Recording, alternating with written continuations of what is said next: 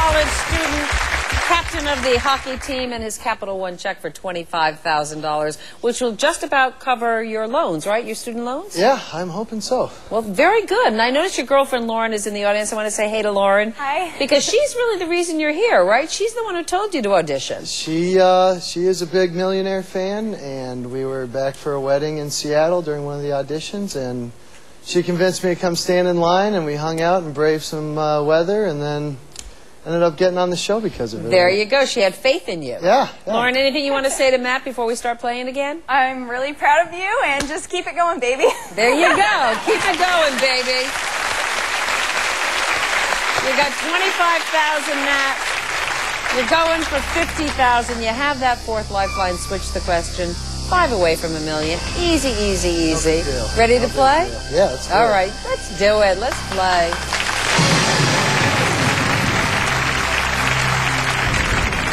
For $50,000, Matt. Which of these leaders was Russia's first democratically elected president?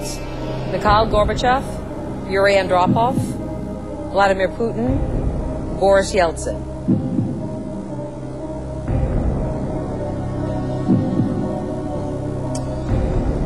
Gosh, I should have brushed up on my uh, Russian politics a little bit before I came in here now.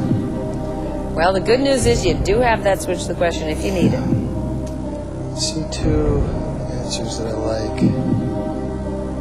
Uh, the Western Civ teacher is not going to be pleased. you know what? I think I'll use that lifeline. Oh, you want to use switch, Switch the question? question, please. Okay, first we'll see what the answer was. It was Boris. Was that what you were thinking? I thought about it, but it was, you- you it was know- one of one of two, 50-50. So throw it out. Yeah. Just get it out of your head. It doesn't matter. We're switching out of this I'm question scared. for another one. Computer, please, valued at fifty thousand dollars. The Guinness Book of World Records measures the world's fastest talkers based on how quickly they recite what? Twas the night before Christmas.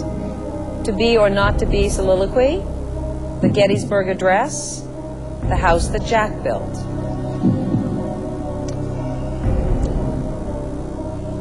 You know what? I'm going to say C, final answer. It's a good guess. That is not it. I don't know what it is. To be, to be or not to be. But to pay. $25,000, Matt. Great job. Good luck to you.